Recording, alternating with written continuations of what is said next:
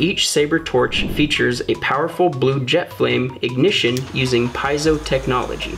They also feature a safety locking mechanism to prevent accidental ignition. They also have an ergonomically designed ignition button, a dial for adjusting the flame intensity, a butane refilling valve, and it was important they wanted me to mention that you should only use premium butane when filling these torches.